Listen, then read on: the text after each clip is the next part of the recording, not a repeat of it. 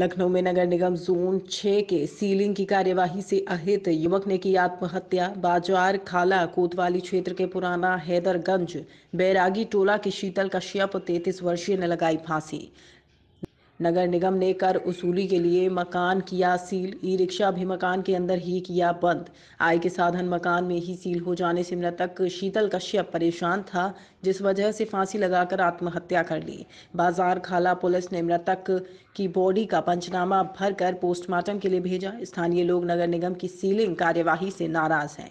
Ceiling करने वाले zone 6 के राजस्व निरीक्षक के विरुद्ध कार्यवाही की मांग।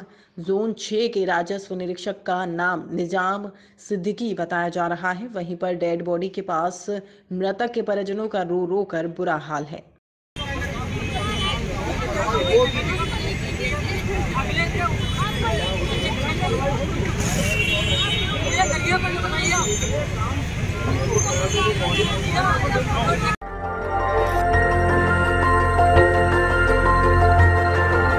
देखते रहिए डीवी भारती समाचार।